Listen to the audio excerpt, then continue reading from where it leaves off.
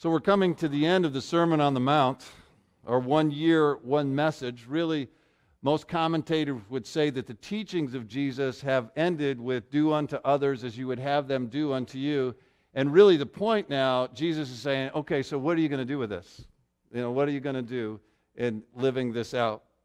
So, Jesus is inviting our response to the teaching that he's given here in the 13th verse of chapter 7. Enter through the narrow gate, for the gate is wide and the road is easy that leads to destruction, and there are many who take it. For the gate is narrow and the road is hard that leads to life, and there are few who find it. Beware of false prophets who come to you in sheep's clothing, but inwardly are ravenous wolves. You will know them by their fruits. Are grapes gathered from thorns or figs from thistles? In the same way, every good tree bears good fruit, but the bad tree bears bad fruit. A good tree cannot bear bad fruit, nor can a bad tree bear good fruit.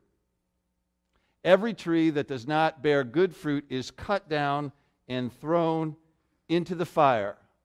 Thus you will know them by their fruits. When I was in India, I had the terrible experience of finding out that I arrived to the airport to get out of Vijayawada an hour after my plane had already left. That's bad news in India because after two weeks I was ready to get home and I thought, I'm going to be stuck here for a long, long time. But the travel agent that worked with Air India did some good work and got me redirected to a flight to Hyderabad, Hyderabad, where I was then going to fly to Delhi. And because of the delay from snow at Newark, I was going to catch my flight from Delhi back to New York. All things work together for good.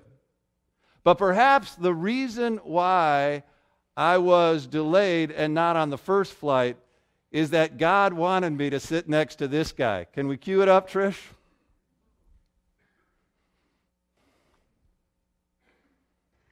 God is one, God is one, God is one for everyone. God.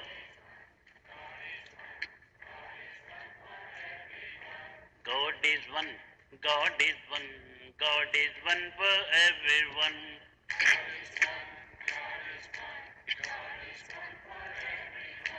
God is here, God is there, God, God everywhere.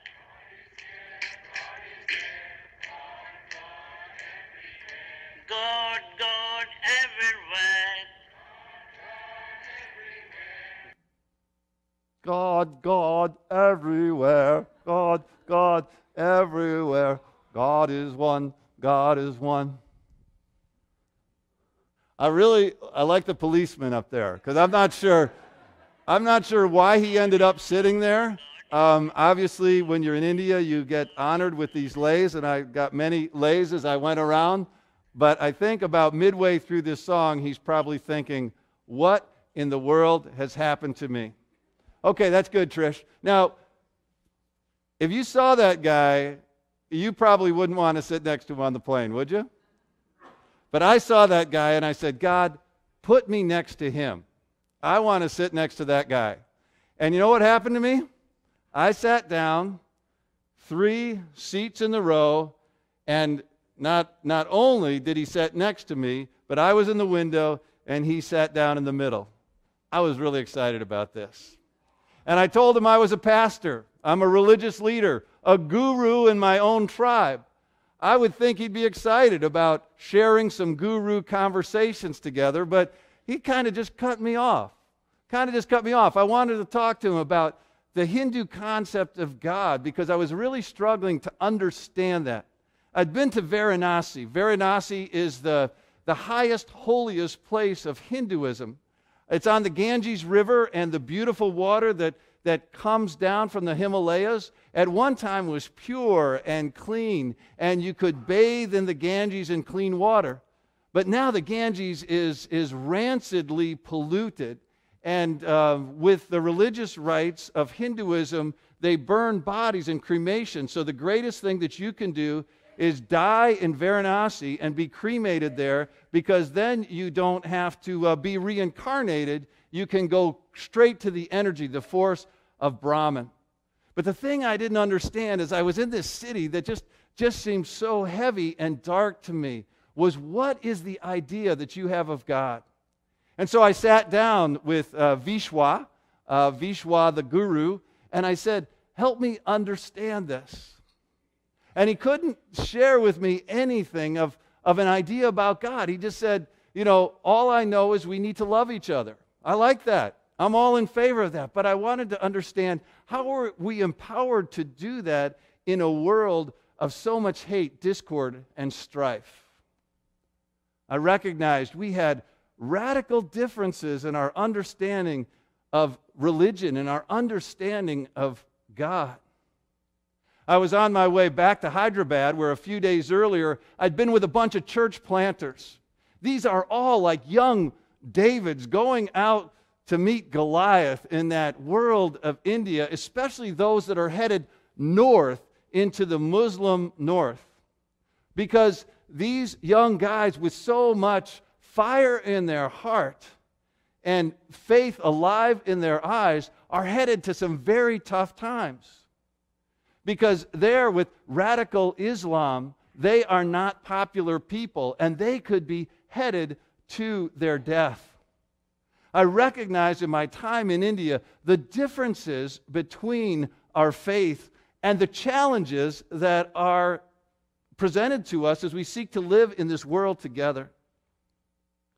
Universalism may not be a hot button topic to you, but it is in our world and it is in our culture. Divisions of religions have caused more wars and heartache than we can imagine, perhaps than any other divisions in our world. But to say that the way we respond to it is like with our buddy on the video screen.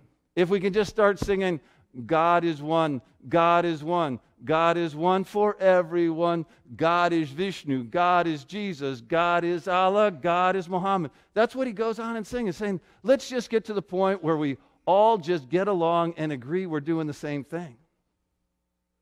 That's a challenge, and it, it's a challenge that doesn't come from me. It's a challenge that comes from our culture because one of the things our culture says, right, is I'm so intolerant of intolerant people. Right?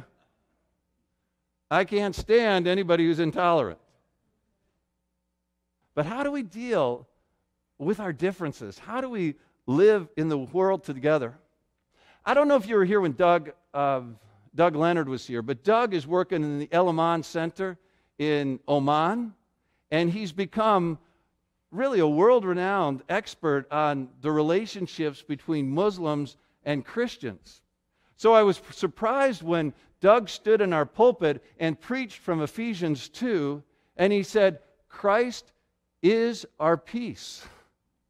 The way of Christ is the only way of peace. And as he shared that with a Muslim friend who was so hostile to Christianity and hostile to himself, Doug took him to a place, took him to a place that showed the way of Jesus.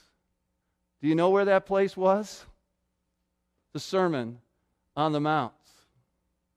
You have heard it said to love your neighbors and hate your enemies. I say to you, love your enemies. Pray for those who persecute you. Doug says the way of Jesus is our only hope. And the challenge of Jesus that comes to us today is a challenge that speaks to this issue of how in the world do we live together? And Jesus is talking about an exclusivism that isn't simply an exclusivism between those that follow Allah, those that follow Hinduism, those that follow the way of Jesus. He's talking about within within the way of those who follow Jesus. Isn't it amazing the words that we hear today?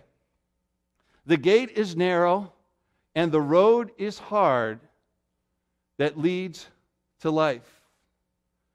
But the way is easy and the gate is wide that leads to destruction. As we come this morning, we may ask with um, those that came up to Jesus in the Gospel of Luke and said, Lord, will only a few be saved? And Jesus says, Strive to enter by the narrow gate. Jesus so oftentimes doesn't deal with the totality of the question. Like even the way Billy Graham did when Billy Graham was interviewed in one of the later interviews of his life and said, Will Muslims and Jews and Hindus be saved? And I think Billy said something like, That's above my pay grade. Maybe that's not exactly what he said, but he said, That's in God's hands, not mine. Billy got in a lot of trouble for that. And a lot of people said, Why didn't Billy say, Jesus is the way, the truth, and the life? No one comes to the Father but through him. I think Billy was saying what Jesus would say let me worry about them. You pay attention to what I have given you. So, as we come to the end of the Sermon on the Mount, as Jesus is wrapping it up and saying, What do we do with this? How do we live with this? I think I understand in a different way than when I've read this text before. Because just as last week we looked at that text on prayer, which so oftentimes we pull out and deal with just in a personal devotional study time and not in the totality of the place where it is, which Jesus is speaking at that point about judgment, discernment, and, and having a clear eye to see the truth. So today, so oftentimes we take this out of context and, and use it as a description of saying there's just going to be a few that'll be saved. Or, or let's understand that, that I'm on the inside, you may be on the outside. Warren's going to be preaching next week, you know, and Warren's got the text many who say, Lord, Lord. I'll say, I never knew you. And usually when I hear that phrase, I say, I know who will be the right people to say, Lord, Lord. And I know the people that Jesus will say, Oh, you got it wrong. But Jesus is inviting each one of us today to look at ourselves. So, the Sermon on the Mount, as Jesus has given us this teaching, we come to something that I think I, I understand in a new way as true. Because when Jesus lays out that text in John 14 and he says, I am the way, the truth, and the life, no one comes to the Father except through me. Jesus starts by saying what Doug Leonard was affirming that the way of Jesus is the life. The life that's the fullness that he's speaking of here in the Sermon on the Mount. But who can live this life? If you've been on this journey for a year, I hope you've been humbled by the power of this sermon and the reality that we are so far from living the vision of the kingdom of God in this world as it's laid out for us by Jesus in, in this mountain. We talked about the, the guerrillas of grace that come up to this mountain to hear the manifesto of a new world, the manifesto of the kingdom of God lived on this earth in its fullness as God intended it. And Jesus gives us the way and Jesus gives us this as truth, and that leads us into life because of who he is. The proof of the pudding in this preaching is the resurrection. I want you to understand that. That the Sermon on the Mount is not a three step program to better happiness. The Sermon on the Mount comes from the very Son of God in human form, saying, This is the way to live, fully alive and fully human, with the presence of the kingdom of heaven here on this earth. But how many of us do that? How many of us even believe that? It's too hard. It's too lofty. It's, it's too far from where I am. And that's why I believe there's two things that Jesus said about this. He says, first of all, enter by the narrow gate. In John, Jesus says one of his famous I am statements I am the gate. The opening to this life comes, first of all, through who he is, through the grace that comes in Christ. It's not by what you do, it's by what's been done. It's how that gate is open to you. But when that gate is open, the road that you take is a straight road, is a narrow road, is a hard road. Because to live this way takes supernatural strength that comes not from ourselves, but from God. It's not just Doug Leonard that sees this for the hope in Islam, but it's Gandhi that says it as well. As Gandhi says, Christ's Sermon on the Mount fills me with bliss even today. It's a sweet verse. It's a sweet verse here, even today, to quell and quench the agony of my soul. That's a Hindu man that sees in this message the truth of the way of life that Jesus is speaking of. G.K. Chesterton says it's not that Christianity has been tried and found wanting, it's that Christianity has never been tried. And from a year of going through this message, I can say I'm only beginning to understand what what the implications of that are. Because to start with, the Sermon on the Mount begins with the blessing that is in direct contrast to everything that our world says. Blessed are the poor in spirit, blessed are those who mourn, the meek, those who persecuted for righteousness' sake. All those things that lay the foundation of what Jesus says is blessing is exactly opposite of what we want for our lives. Isn't it? It's exactly opposite of what the culture is teaching us. And Jesus says, this is how we're going to live into this world with these values of the kingdom. In fact, Martyn Lloyd-Jones takes those Beatitudes at the beginning of the sermon and he says, when Jesus is talking about the fruit at the end of the sermon, he's inviting you to go back and visit the fruit at the start of the sermon. If you want to know what, um, what a wolf in sheep's clothing is looking like, if you look at the fruit, you say, Look at the fruit of the Beatitude, if that's not reflected in that person, then you're in trouble. You're in trouble. And then he says the goal is not to pull out of the world, but to be the light of the world, the salt of the earth. See, see here's, here's the key that we've been talking about this again and again that the message is not, I want to make sure that I get my fire insurance policy. And Christianity is basically my fire insurance policy that when I die at the end of my days on earth and I enter the pearly gates, I'll be able to pull out the policy. Jesus is saying that eternal life starts now and is lived now and reflected in the way that we live together. So then, from that call to be salt and light, you remember where Jesus goes.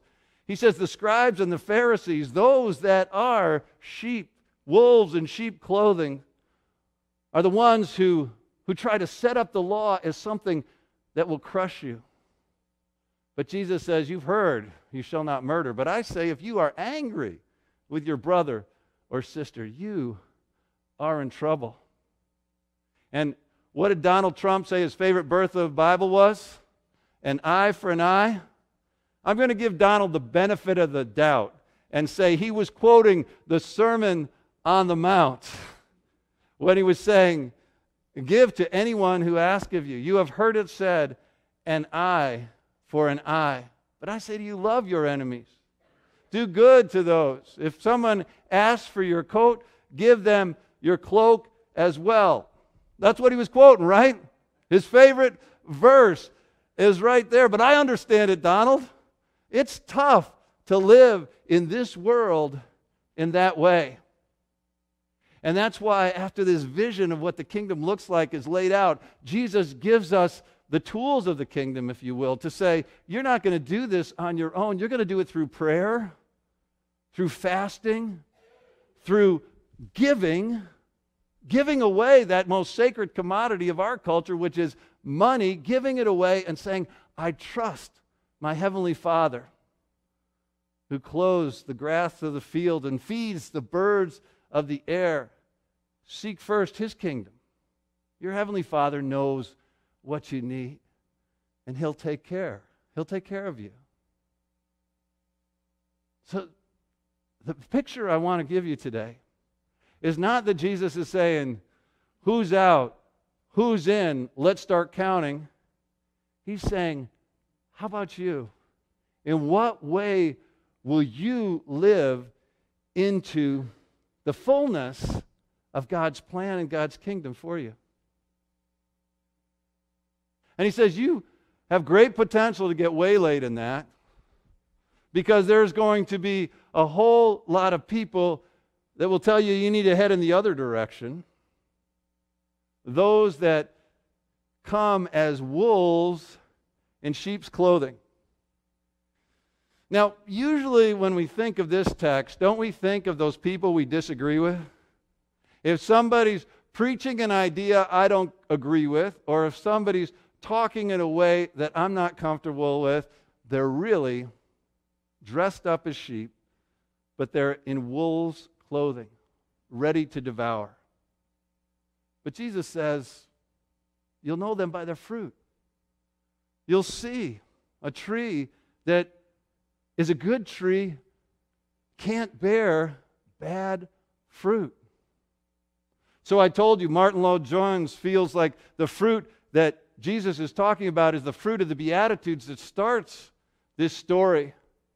But he says you can really sum it up in humility, not someone that reflects the work of the flesh, as Paul says in Galatians lust and anger, quarrelsomeness and envy, idolatry. He doesn't call those the fruit of the flesh, he calls those the work of the flesh. But then he said, the fruit of the Spirit. The works is plural, but the fruit is singular, is love, joy, peace, patience, kindness, gentleness, generosity, self control. You will know them by their fruits, says Jesus. So I think of the people that have shaped my life, the people that I say, I want a piece of what they have. Think about those people in your life right now. Right now. Don't you think of people that reflect that fruit? That fruit of the Spirit? You shall know them by their fruit. And we are called to reflect that good fruit in our lives. And I love the fact that Jesus connects this with the tree. Because you know, this is a story about the trees the tree of life. That's what we're seeking to get to, right? That, that that's given to us, that vision in Genesis, but the sin separate us, us from that tree of life. But there in the garden was the tree of life. Do you know when that tree appears again? In the end, in Revelation. For there it shall be in the center of the city, the tree of life. It's a reminder that we're living between these two trees. And the truth of the Sermon on the Mount and the truth of what Jesus is preaching that he practices in the way he lives is in the center of this story, there's another tree. And that tree shapes the vision of living in this world in a way that is narrow, in a way that is straight, in a way that is difficult because that tree is a cross.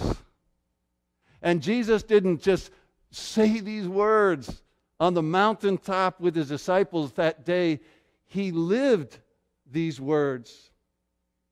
He forgave his enemies. He absorbed evil on the cross. He did not repay evil for evil, but he repaid evil for good. So finally, the vision of how we live, the Sermon on the Mount here, is what Jesus gives us when he says to us, Take up your cross and follow me. Between those two trees is that tree for the healing of our world that you're called to reflect the fruit of that tree. The good news of the gospel is this the way certainly is straight, it's hard. And many will say, I just cannot live that way. But the gate that's open to us is the gate of Jesus Christ, the gate of life that calls us to travel that road, to recognize that we will fall, that we will fail, but there in the way of loving our enemies, of being the salt and life, of recognizing the poor in spirit are the ones who receive the kingdom of heaven. We see life lived in its fullness, in its fullness, and not the way of destruction. Pray with me this morning. Lord, today as we talk about that topic of, of universalism, really it's a question that comes right down to us in our walk with you. That Jesus, by his life, death, resurrection, and ascension, has given us, given us our calling in this world and our hope for the world to come. So today, Lord, as we hear this message, we pray that we don't take this message and say it's for somebody else, but we take this message and say, this day it is for us. That all that has been spoken about the way of life, spoken to us by Jesus, the one who is risen from the dead, the one who has come from God, returned from God, is the one that gives us the words of life. And I pray, Lord, recognizing it is difficult, but that each person in this room today takes up the cross and follows him, not for the glory of self, but for the glory of you. In Jesus' name, amen.